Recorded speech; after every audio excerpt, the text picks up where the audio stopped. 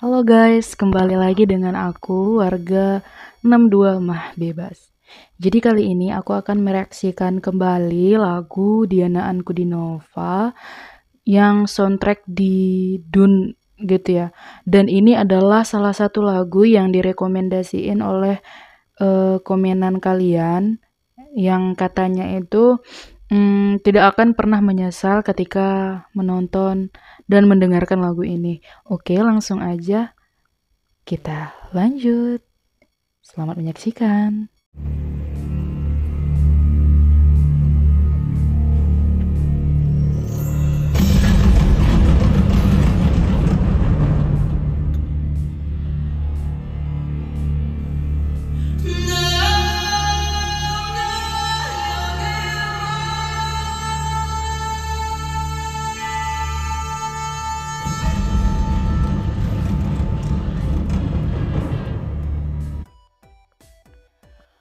Oke, ini dia aku akan mereaksikan uh, lagu yang dinyanyiin sama Diana Ankudinova. Ketika pertama kali aku mengklik dan mendengarnya, sungguh cukup merinding ya. Kita lanjut coba.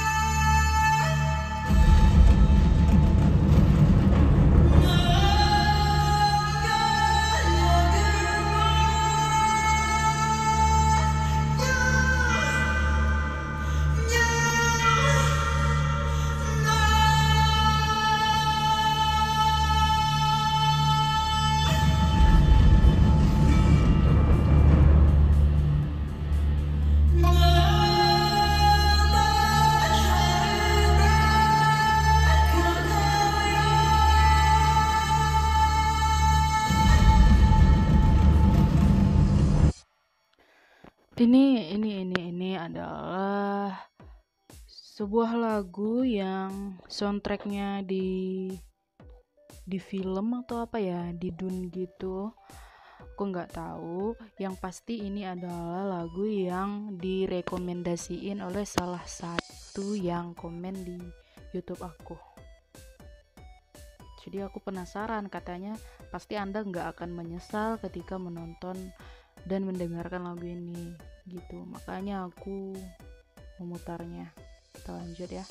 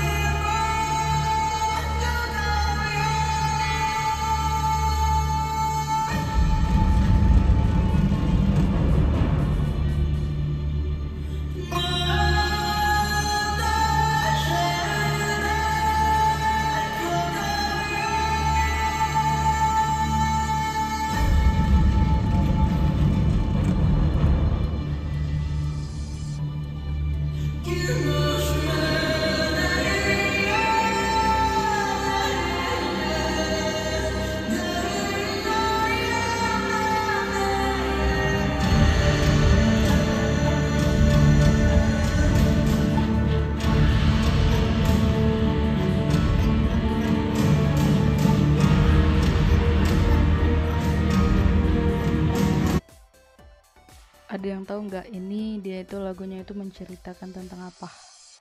Yang tahu silahkan komen di kolom komentar ya. Kita lanjut dulu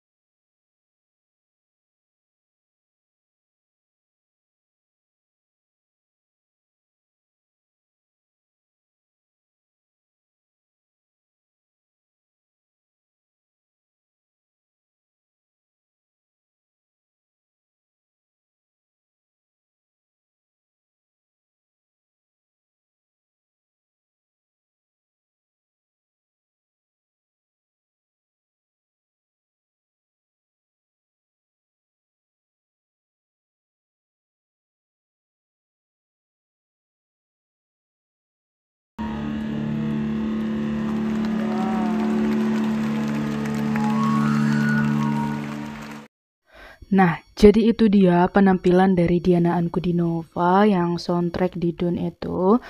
Nah, bagaimana menurut kalian?